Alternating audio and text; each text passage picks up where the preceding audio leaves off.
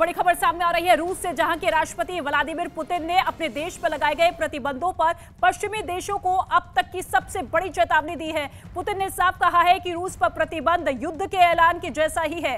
इतना ही नहीं, पुतिन ने धमकी दी है कि जो भी देश यूक्रेन को नो फ्लाइंग जोन का दर्जा देगा, उसे रूस युद्ध में शामिल मानेगा। पुतिन ने राष्ट्रपति जेलेंस्की को यूक्रेन के लिए खतरा बताया और साफ़ कर दिया है कि रूस किसी भी हालत में यूक्रेन को नाटो में शामिल नहीं होने देगा। उन्होंने यूक्रेन मामले के शांतिपूर्ण समाधान की भी बात कही। नीरज कुमार इस वक्त मेरे सहयोगी मौजूद है। नीरज, किस तरीके से इस चेतावनी को देखा जाए रूस की?